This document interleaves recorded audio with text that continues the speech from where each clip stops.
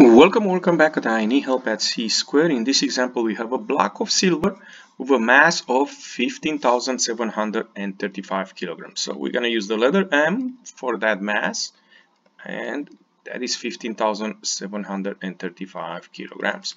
And this rectangular prism is the block of silver. The volume of this block of silver is 1.5 cubic meter. How do we find the density?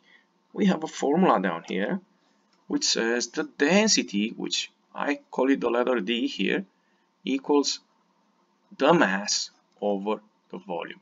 Uh, just be careful sometime in some other class instead of D for density you're going to use the letter rho which is a Greek letter and in this case we have D equal 15,735 kilograms over over 1.5 cubic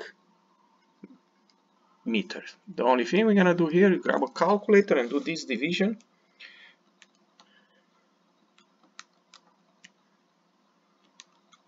And I end up with a density of 10,490 kilograms per cubic meter. This is the density of silver. If you enjoyed this video clip, don't forget to click the like button and come back on C Square for more help. Thank you.